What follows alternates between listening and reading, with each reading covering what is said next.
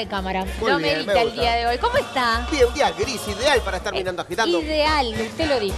y, recibir novedades de nuestra hermosa fiesta. Ideal el día para sonreír, porque veo como el día está triste, uno como Se que tiende. achaca, sí, sí. Nosotros venimos medios así, pero después finalmente llegamos aquí al canal y es una alegría, una Verdad. energía que lo disfrutamos desde que llegamos hasta que nos vamos. ¿Verdad? Y ya que estamos en el momento de alegría, le vamos a mandar un beso grande para Rafa Cotero y para Iñaka Badí, Sí. que están cumpliendo años. Así ¿Ah, que sí? Un beso grande, sí. A Ay, feliz cumpleaños y a disfrutar el cumpleaños, entonces. ¿Tiene novedades usted? Sí, tenemos novedades porque nos estuvimos comunicando con la gente de DAECPU. Opa. Porque justamente queríamos saber algunas ¿Quién gana este novedades.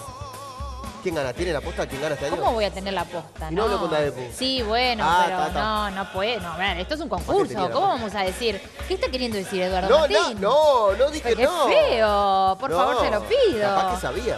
No, ¿cómo voy a saber? No se saben esas cosas. Claro, verdad. bueno, pero nosotros estuvimos hablando con la gente de DAECU porque el próximo 26 de julio son las elecciones en DAECU. Atención allí, porque entonces así van a llegar las nuevas autoridades. El domingo 26 de julio se estarán realizando las elecciones en DAECU, así que por lo pronto está todo como en un stand-by, esperando a ver qué serán los resultados de esta nueva elección para que así puedan asumir la nueva directiva y ponerse en tratativas con la gente de la Intendencia Municipal de Montevideo para justamente ultimar ya, comenzar a hablar de los detalles de este carnaval 2016. Lo que sí eh, podemos decir que ya fue asignada la directora de Cultura de la Intendencia, que va a tener muchísimo que ver en lo que refiere a este carnaval. Tenemos que decir que quien es la directora de Cultura es Mariana Perkovich. Así que ella va a estar en, en esa área y vamos a tener mucho de lo que ver los carnavaleros con, con- con Mariana sin lugar a dudas. Además una persona que ha incursionado en nuestro carnaval con una amplia trayectoria en lo que es teatro, ni que hablar, y en el carnaval mismo también. Sí, también eh, nos contaban que iba a tener un asesor sobre carnaval. Exactamente, lo hablábamos hace un ratito, ¿verdad, Eduardo? Diga, diga Sí, que iba a ser Ramiro Payares. Exacto, que Mariana es el hijo de Néstor, que es el que va a ser el asesor en la rama del carnaval. Me parece perfecto. Está bueno tener asesores, Sí, ¿no? por Porque uno no puede abarcar todo y bueno, y más en esos cargos que son tan importantes. Después quiero, quiero que me averigüe para después para aclarar a la gente. Yo sé que el año pasado lo hicimos, pero este Sí. año vamos a volver a hacer. Es cómo se elige el jurado. La gente que no sabe, a Sí. ver cómo se elige el jurado. Con las comisiones directivas, con las comisiones para que se encargan de la elección del jurado, usted dice concretamente el concurso del carnaval. Sí, del concurso. Perfecto, lo vamos a, entonces a decir cómo es que se va manejando. El año pasado recuerdo que nosotros íbamos diciendo, bueno, primero se reunieron eh, las autoridades de la Intendencia con DAECPU, se hizo una comisión para elegir, bueno, justamente al jurado, pero todo esto lo hablamos con Rafael, que nos atendió gentilmente allí en René, Jimena, le mandamos un beso enorme porque siempre tiene una disponibilidad y nos atienden de brazos abiertos. Así que bueno, Rafael que ahora DAECPU está un poco eh, a la expectativa de lo que sucederá el próximo 26 de julio en estas elecciones de DAECPU. Pero también, hablando de Rafael, estuvo contándonos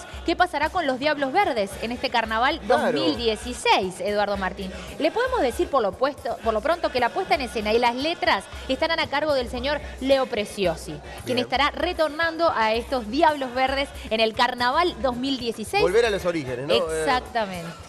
Exactamente, así que Leo Preciosi estará en la puesta y a cargo de la puesta en escena y las letras de estos Diablos Verdes. Los arreglos musicales y vocales los hará Damián De Wey, ya sabíamos. Y bueno, nos contaba también Rafael que quien se fue fue el eh, palatillero Nicolás, Nicolás Hugo que vuelve a Queso Magro porque Queso Magro retoma en este carnaval. Yo vi una campaña en Twitter ahí de, de varias figuras, verdad. de Dieguito White Room, Sí. que, que vuelve queso magro. Vamos a, para la próxima vamos a prometemos traer información de- del queso magro, una mura que tiene muchísimos este, seguidores, que la quiere mucho la gente. Bueno, retorna entonces a este carnaval 2016, razón por la cual Nicolás Hugo entonces retorna a el queso. Y quien viene, quien vuelve es. em.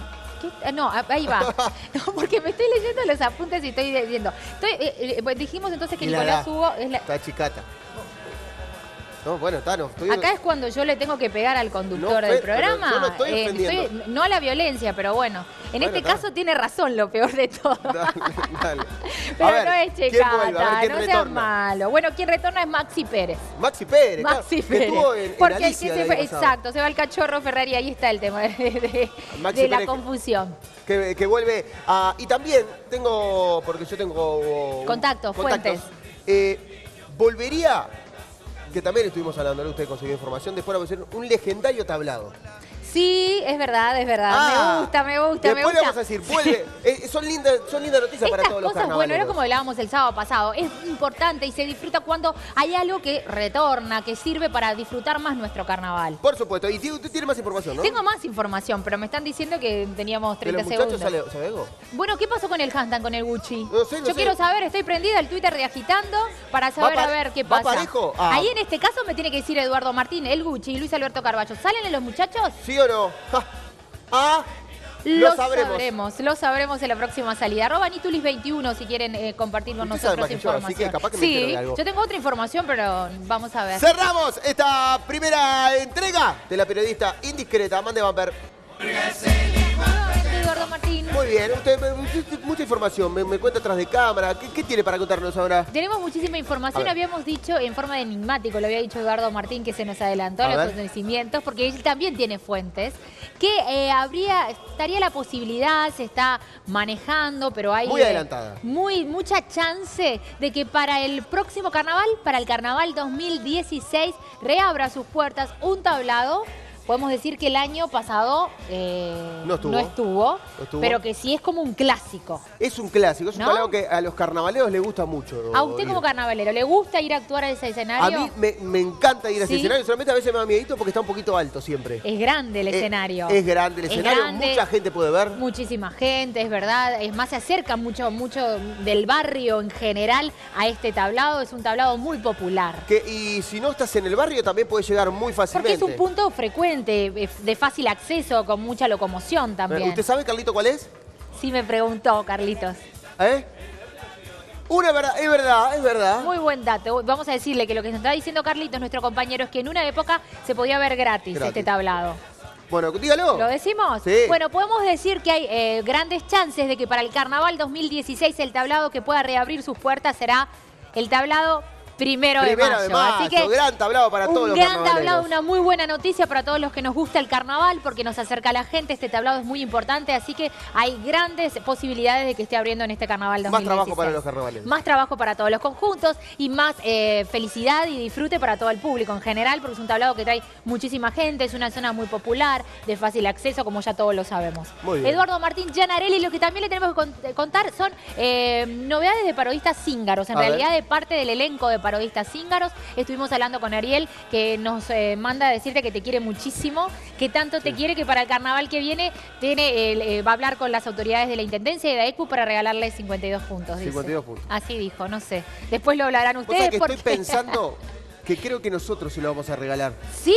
Sí. Es bueno eso, Eduardo, está bien. Qué grande, este- se regalan tanto, es bárbaro esto. Si él me regala 52, yo regalo 104. Bueno, eh, por lo pronto, dentro de 15 días, parodistas sin obras van a estar aquí visitándonos y ahí lo hablan usted y Ariel. Yo no, no medio. Pero ¿en qué está el, el, eh, eh, fuera de carnaval? Sí. Eh, obviamente que estoy feliz de que, de que el carnaval reviva todo el año. Exacto. El espectáculo que, que estaba haciendo para invierno. Justamente de esto queríamos hablar. Nos comunicamos con Ariel a ver en qué va este mega espectáculo que estarán brindando, según se sabía, era para el mes de agosto. Bueno, estamos en posibilidades de confirmar que a partir del viernes 7 de agosto estará debutando este mega espectáculo con más de 30 músicos en escena, con una apuesta, un vestuario, artistas de primer nivel, a cargo obviamente del señor Ariel eh, Pinocho Sosa en la, sala, en la sala Nelly Otiño el 7, el viernes 7 de agosto estará debutando Soy Montevideo, el musical, a cargo de Ariel Pinocho Sosa, que nos van a estar visitando y nos van a estar contando y mostrando parte de lo que será el espectáculo. Atención que a partir del 7 de agosto irá todos los viernes, sábado y domingos del mes de agosto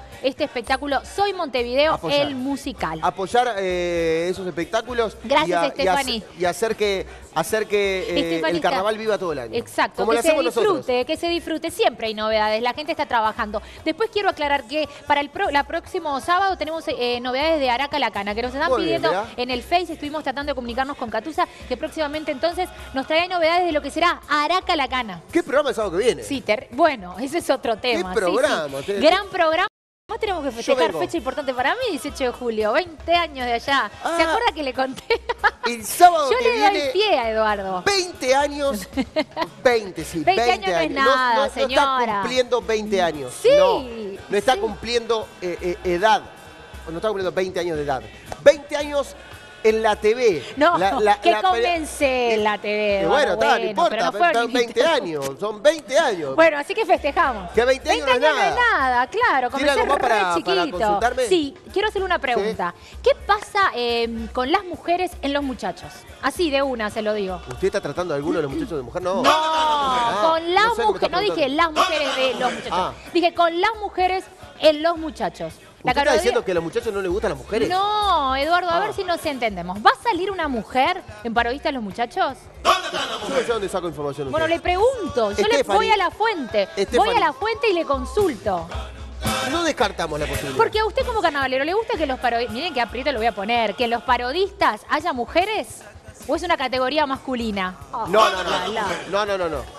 No digo... Ah, bueno, es un bueno. Yo no- Sepamos decir que se quebró ese mito que con No, no. mujeres en parodistas no, No se, se ganan ganaba. y fue con Carolina- Ariel, sí, Carolina Ariel, Fabier. Carolina Fabier, por favor, múltimamente Yo no descarto, yo no, para mí no es una categoría masculina, no, no, no lo comparto. Sí, no sé cómo es la relación cuando, cuando son tantos hombres y poquitas mujeres.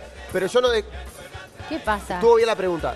No se descarta la posibilidad de que una mujer se integre. Ah, la Lala, porque yo está, está- estoy manejando un nombre que anda por ahí. ¿no? Usted no lo diga, por favor. Arroba. Nitulis21. Claro que se puede.